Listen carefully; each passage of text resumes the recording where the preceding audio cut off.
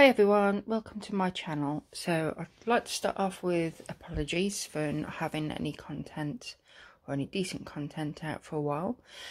Um, but today I'm going to be showing you um, a fairly simple set um, and it's a nice bright set.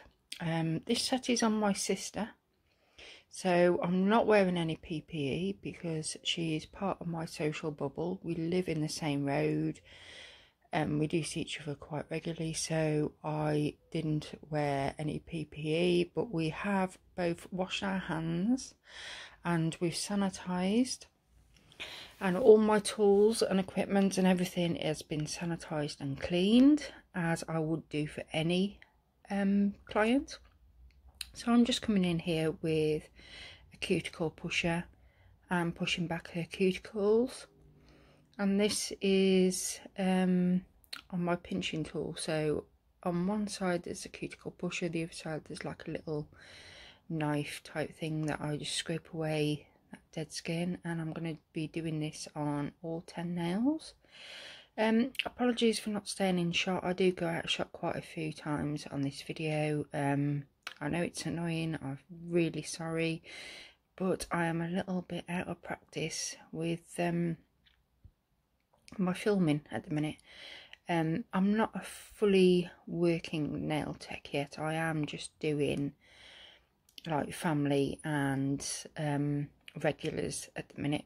Um, the ones that have regular appointments and family. I'm not sort of advertising and putting myself out there because COVID-19 is still very much here. So um, at the minute I'm just keeping it nice and small, nice small tight group and um, yeah so um, once I've done all that I just spray our hands with CJP's prep spray prep spray plus and wipe off the excess. And now I'm using a fresh file as I do on every client. They all get a brand new file. Um, and I'm just etching that nail plate. And it does look like I'm being a little bit rough here but this video has been sped up um, I'm just applying enough pressure to um, etch the nail bed and push back those cuticles as well, getting into all those little nail folds, um, but not um, damaging the nail beds. So my sister is a little bit of a nibbler. So apologies for the state of her cuticles in. When she hasn't got her nails on, she does tend to nibble. And that's why she's uh, coming today to have a, a fresh set. I did do a set on her about four weeks ago, which she removed because she's got a new job working in a very busy supermarket. So she removed that set herself and um, now she's got used to the job a little bit. She's come in for another set, but we are going to keep them really, really short. So I'm just coming in here now with this ball bit and all I'm doing really is just getting rid of all that excess bit of skin and anything that I might have missed. I have done a lot of work, my work, cuticle work with the cuticle pusher and the file. This is just to make sure that I've got every little bit away and then I start applying tips. Now I did have some trouble with my glue today. I usually use, well I do use CJP gripper glue and normally you put it on and it grips straight away. Um, I think because it's been such a warm, humid day, I think the glue was actually probably setting before it actually went on the nails because I've never had this problem before. Um, normally they just stick, so I did have a bit of problems getting these tips to stick today as you can see look it just wouldn't have it but I did eventually get them all on and stuck down now my sister turned up with a glass of wine in hand so um, I only put tips on this one hand. I've prepped both hands, but I only put tips on this one hand, do this one hand, and then I switch and do the other hand. So she's got a hand free to um, drink a glass of wine without knocking any tips off.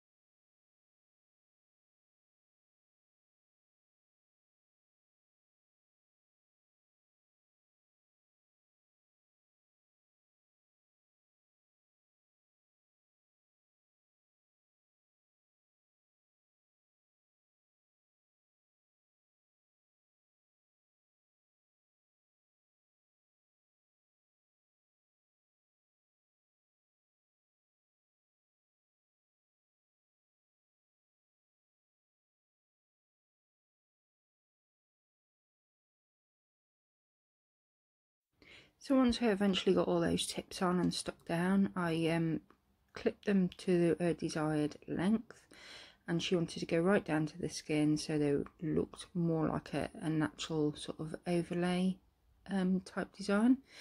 So I'm just coming in, in now with my file, just filing um, those side walls, making sure I've got no overhang and just straightening up that free edge. And as you can see I do keep going a little bit out of shot but I, you can get the gist of what I'm doing. You can see what I'm doing. Um, now when we discussed colours um, she wanted something bright. Um, obviously I'm wearing bright nails myself. I'm wearing Mango Tango and Flamingo on braid with some glitter over.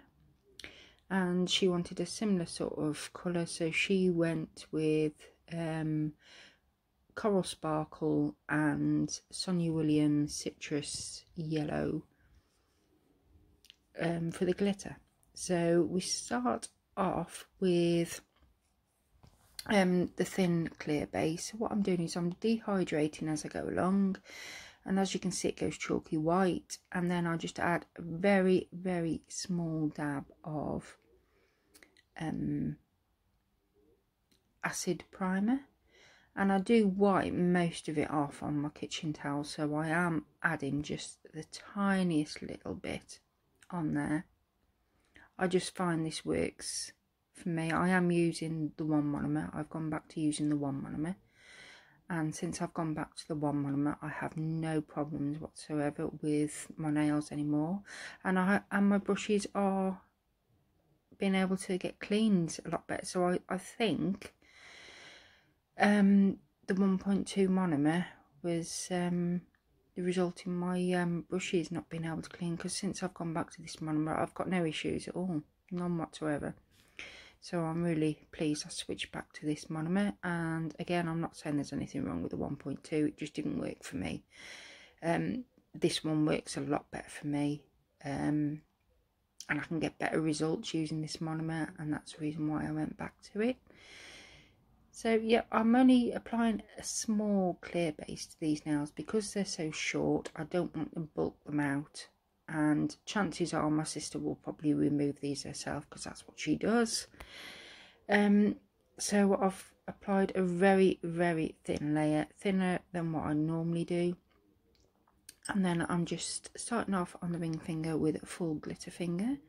And like I said, this is Citrus from the Cocktail Collection from Sonia Williams and I'm not applying any colour or anything underneath I'm just applying it straight onto the nail. Obviously I've got my clear layer down below so it's not going directly on the nail bed.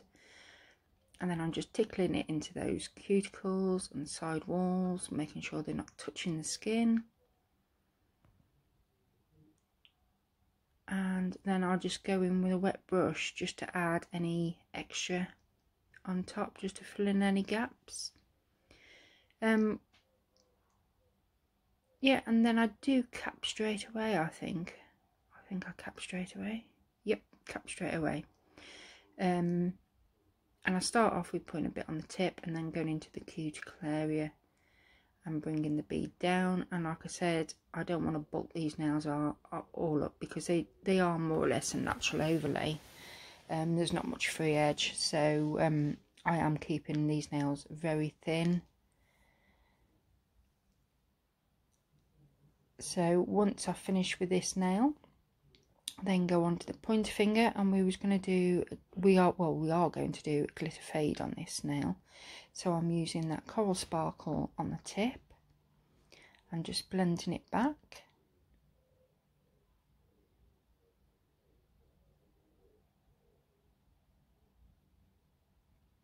And coral sparkle does have like little yellow um, but it's got loads of different colour glitters in it. So the yellow glitter went really well with this set. All the other fingers now are just going to be full um, coral sparkle and it's a good job they were short nails because this acrylic in this heat was just setting up straight away. So if I'd have been doing a long set of nails I, I would have struggled today with this heat. Um, so yeah I using a really small brush because my sister does only have small fingers and I'm doing a tiny set. So I'm using my Love by CJP brush today. So I've put a bead on the tip and then I'm just tickling it into the cuticle just tapping it in there and swiping it down. And then I think I'll come in with one more bead just to balance it all out to get rid of any shadowing and I do exactly the same on the thumbnail. Now my sister's a little bit of a fidgeter. She does spend a lot of time on her phone, even though I have banned phones in the room, but um, she is a bit of a fidgeter, so it's a case of when I come to the cuticle, just try and get it on there as neat as I can, um, while she's not fidgeting around, but um, I've done her uh, nails quite regularly, so I am uh, quite used to a movement, so I managed to do it. And then I come back to this pointer finger, and I just apply a little wet bead first, and then just tap the glitter straight into that um, clear bead with a wet brush, so I don't add too much bulk because I will be capping this nail. And just tickling into that cuticle area and blending it down.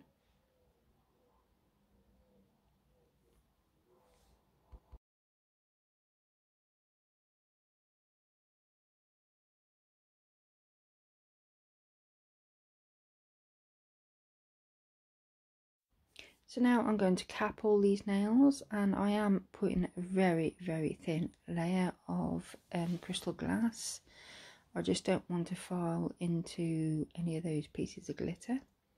So I'll just put on a tiny bead at the cuticle and just brush it down just so I've got something to um, file out at the end. This one I do put a slightly thicker layer on um, because I don't want to fall into any of that glitter.